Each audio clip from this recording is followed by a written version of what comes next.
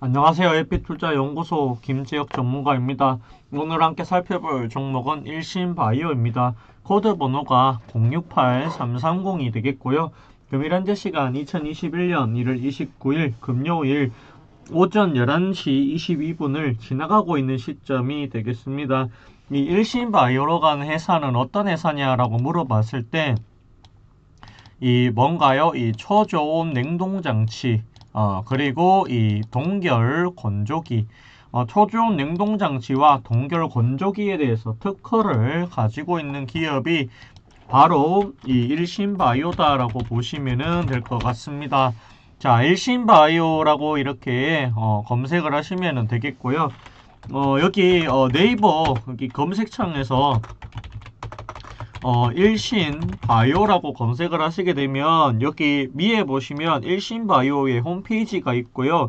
밑에 보시면은 초저온 냉동고 전문 업체 진공 동결 건조기 제빙기 냉동고 진탕기 뭐 쉐이크 등 어, 취급하고 있다라고 하는 이야기가 들려오고 있습니다.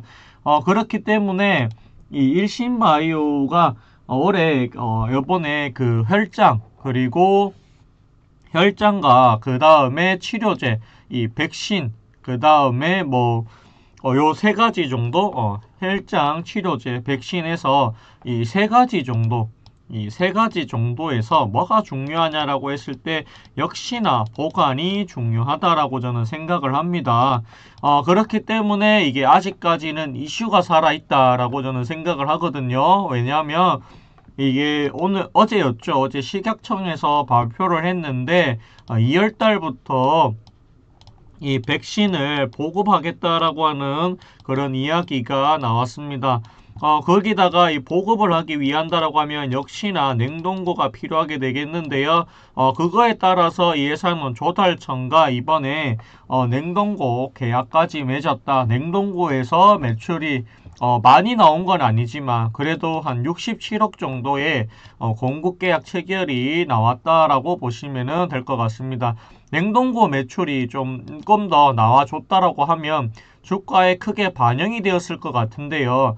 어, 냉동고 매출 거래, 어, 거래 규모 자체가 그렇게 크지가 않다 보니까 음, 실적 이 주가에는 크게 어, 반영이 안 된 것 같아 보여집니다.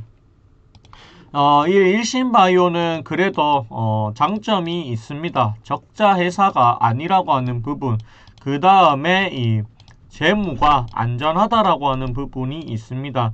그렇기 때문에 이 종목은 갑자기 다른 종목들과 다르게 갑자기 급락을 보여준다라든가 그런 거는 조금은 보여주기 어렵지 않겠나 그런 생각이 많이 듭니다.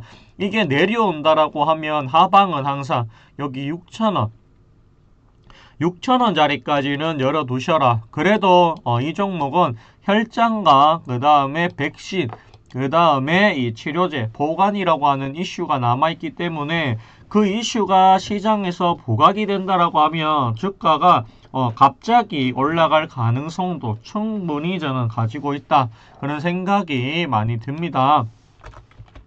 어, 오늘 보면은요, 또 이 녹십자 넵셀이 이게 혈장 치료거든요. 이 혈장 치료 관련주가 벌써 22%나 또 올라간 것을 지금 확인하실 수가 있습니다.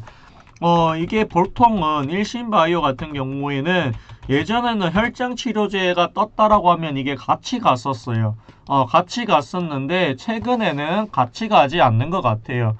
어, 어떨 때는 한 발 늦게 올라갈 수도 있고요. 어떨 때는 반응이 없을 수도 있어요. 근데 오늘은 이 녹십자 계열과 똑같이 행동하고 있지는 않다라고 보여지는 것 같습니다.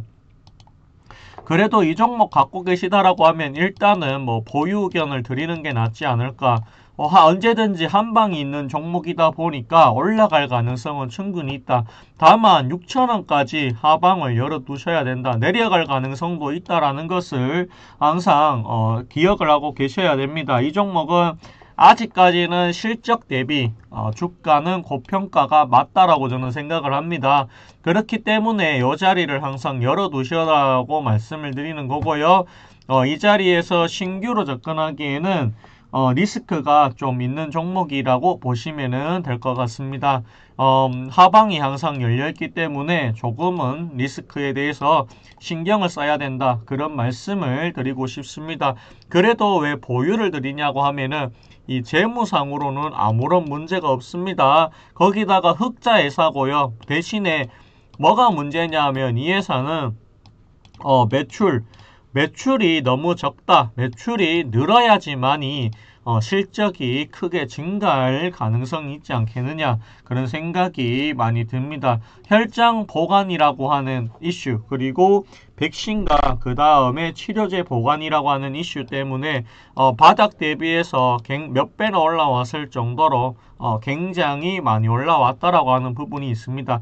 따라서 이 정도 정도는 박스권을 형성하면서 좀 옆으로 어, 행보를 하는 것도 어, 굉장히 조, 좋은 흐름이다. 그렇게 보고 있습니다. 오늘 방송은 여기까지 하도록 하겠고요. 좋아요와 구독해 주신다라고 하면 의미 될 것 같습니다. 감사합니다. 고맙습니다. 그리고 저희 에피투자 연구소에서는 무료로 종목을 추천해 드리고 있는데요. 어디서 추천하는지 모르시고 계시는 분들이 있어서 알려드리려고 합니다. 네이버 검색창에서요. AP투자 연구소라고 검색을 하시면 되겠고요. 맨 위에 보시면은 AP투자 연구소라고 있습니다. 이 부분을 클릭하시게 되면은 저희 AP투자 연구소 홈페이지로 들어오실 수가 있습니다. 가운데 보시면 무료 추천 종목이라고 되어 있고요. 바로 밑에 보시면 2021년 무료 추천 종목이라고 되어 있습니다.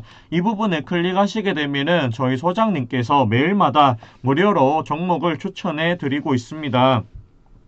가장 최신의 날짜를 누르시면은 될 것 같고요. 내려보시게 되면은 이 하시기 전에 있어가지고 공지사항이 나오게 됩니다. 여기 공지사항을 꼭 읽어보시고 이용을 하시면 감사하겠습니다. 그리고 내려보시면은 여기 미국 증시가 나오게 되고요. 그리고 조금 더 내려보시면 다우 산업과 나스닥 종합이 나오고 있습니다. 그리고 내려보시면은 어, 무료 추천 종목은 장 시작 30분 전 8시 반부터 시작을 하고 있으니까 이 부분도 참고해 주시면 감사할 것 같습니다. 9시가 되면은 종목과 현재가가 나오고 있습니다. 그 밑에 보시면 1차 목표가와 손절가가 각각 따로 제시가 되고 있으니까 이 부분도 참고해 주시면 감사할 것 같습니다. 그리고 그리고 저희 무료 추천 종목은요 이렇게 어, 장중에 댓글로 리딩을 해드리고 있으니까 이 부분도 참고해 주시면 감사할 것 같습니다. 무료 추천 종목은 가입을 하지 않더라도 누구라도 다 보실 수가 있기 때문에 이 부분을 참고하셔가지고 어, 도움이 되시기를 진심으로 바라겠습니다.